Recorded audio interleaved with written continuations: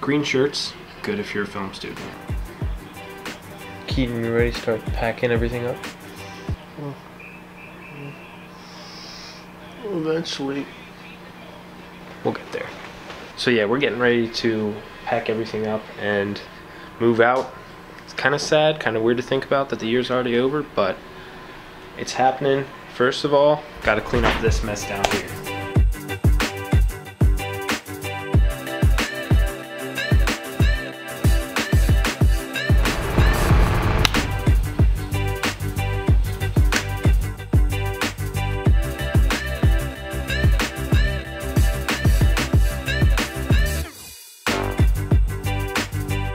All right, I think we're gonna end this little move out vlog here. Um, kind of just like moving stuff around in time lapses. Keaton, I'm not gonna see you for probably a month or two until we hang out in the middle of the summer.